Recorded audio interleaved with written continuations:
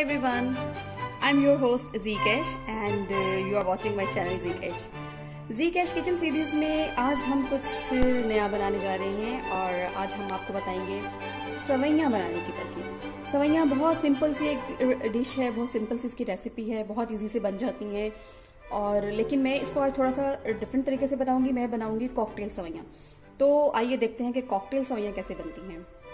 So let's start so this is a very quick and easy recipe for those जिनको cooking इतनी ज़्यादा पसंद नहीं है और वो कुछ अच्छा भी बनाना चाहते हैं जल्दी से झटपट से बन जाए। सो uh, अब इस पैन में हमने लिया है वन तकरीबन वन के जी दूध और उसको हमने बॉईल कर लिया है। सी ये बॉईल हो चुका है। अब हम इसके अंदर क्रश्ड सवैयाँ डालेंगे। सी ये सवैयों को हमने क्रश कर लिया है। ये तकरीबन एक पैकेट का हाफ़ पैकेट है। पूरे पैकेट का तकरीबन हमने हाफ़ लिया है।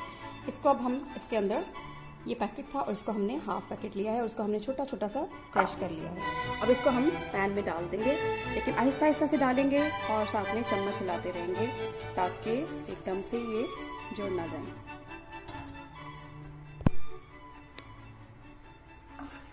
सी सवैयाँ हमने इसके अंदर ऐड कर दी हैं और अब हम इसको चम्मच हिलाते रहेंगे और पकाते रहेंगे। जब सवैयाँ थोड़ी सी गल जाएँगी, तब हम इसके अंदर चीनी ऐड करेंगे।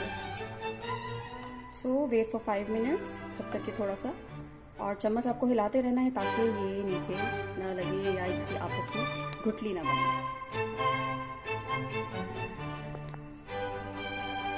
तो ऑलमोस्ट फाइव मिनट्स हो चुके हैं और सवैयाँ गल चुकी हैं। अब हमने इसमें ऐड कर दी है चीनी। तकरीबन आधा कप चीनी हमने इसके अंदर ऐड कर दी है और अभी हम इसको पकने देंगे। इसके साथ में इसमें ऐड करूँगी ये मैंने बर्फ़ी ली है यहाँ पे। थ्री पीसेस हैं बर्फ़ी के। आप टू या वन या जितने भी पीसेस आप अपनी मर्ज़ी से डाल सकते हैं। इसको अगर आपने बर्फ़ी ऐड करनी है सिलेंडर में तो आप सब चीनी कम डालेंगे। और अगर नहीं ऐड करनी तो फिर चीनी आप अपने हिसाब से डाल देंगे। ये एक सीक्रेट इंग्रेडिएंट है। बहुत सारे लोग ये करते होंगे बट मैं करती हूँ जब मेरे पास होती है। अक्सर हमारी फ्रिज में स्वीट्स पड़ी हुई होती है, मिठाई पड़ी हुई होती है तो अगर पड़ी हुई हो तो फिर मैं उसको इस तरह की डिशेज़ में सवैयों में या खीर में ऐड कर देती हूँ। सवैयों को के अंदर बर्फ़ी को ऐड करने का बड़ा एक मज़ेदार सा टेस्ट आ जाता है बिल्कुल खीर जैसा और इसका थिक सा बड़ा मज़े का टेस्ट आता है। और अगर आपके पास बर्फ़ी नहीं है तो आप खोया भी ऐड कर सकते हैं। लेकिन खोया मैं जैसे कि क्विक और इजी रेसिपीज़ पे बिलीव करती हूँ तो जो चीज़ें मेरे पास अवेलेबल होती हैं, मैं उन्हीं को यूटिलाइज करती हूँ। तो इसलिए मेरे पास बर्फ़ी थी तो मैं इसको यूज़ कर रही हूँ। अगर नहीं होती तो मैं कुछ ना डालती समय से ही बना लेती हूँ। तो उससे भी बहुत अच्छा टेस्ट आ जाता है, सिर्फ़ चीनी डालने से भी। लेकिन आज हम थोड़ी सी बर्फ़ी भी ऐड कर देंगे। ये इससे बहुत ज़्यादा मज़े का टेस्ट आएगा। तो आप भी ज़रूर ट्राई करिएगा। इसको अभी हम थोड़ा सा क्रश करेंगे और बिल्कुल पीसीज इसके करके क्रश करके इसको फिर ऐड करेंगे। सी लाइक दिस हम बर्फ़ी को क्रश कर लेंगे और अब हम इसको अपनी सवैयों में ऐड कर देंगे। बर्फ़ी को भी हमने ऐड कर दिया है इसके अंदर और यू कैन सी अभी इसके थोड़े से हैं पीसीज ये आहिस्ता आहिस्ता खुद ही इसके अंदर मेल्ट हो जाएँगे और ये बिल्कुल इसके साथ मर्ज हो जाएँगे। So no need to worry just have patience.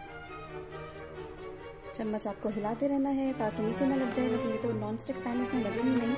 लेकिन अगर आपके पास ये दूसरा पैन है तो वो तो बहुत ही ज़्यादा केयरफुल होना पड़ेगा आपको, वरना नीचे लग जाएँगे सही सारा।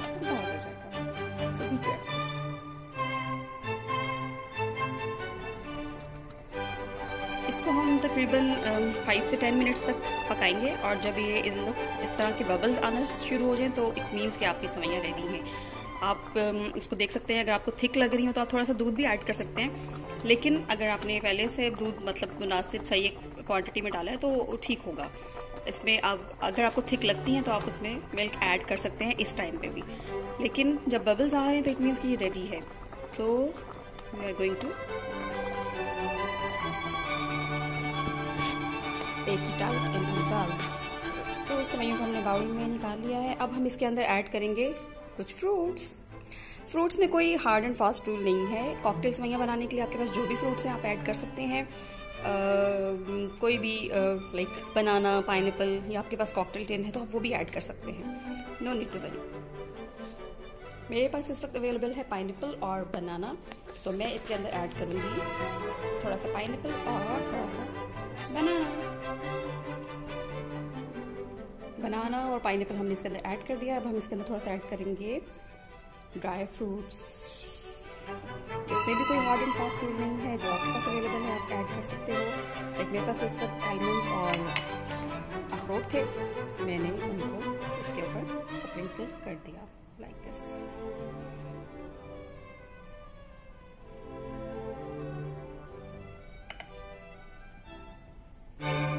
सी इट्स रेडी तो इतनी क्विक और झटपट रेसिपी है सवैयाँ कॉकटेल सवैयाँ बनाने की। आप इसको सिंपल भी बना सकते हैं, अपनी मर्ज़ी के फ्रूट्स ऐड करके भी बना सकते हैं, और मज़े की ये बनेंगी। और ये बहुत जल्दी बन जाती है। हार्डली ये आई गेस ट्वेंटी से ट्वेंटी फाइव मिनट्स लगे होंगे, और इतनी जल्दी से रेडी हो गई हैं। सो so, आप किसी भी वक्त इसको बना सकते हैं ईजी से. So I hope you like it you like this quick and easy recipe झटपट रेसिपी आप ट्राई करिएगा ज़रूर. अगर आप ट्राई करें तो मुझे ज़रूर बताइएगा कैसी बनी. सही so, या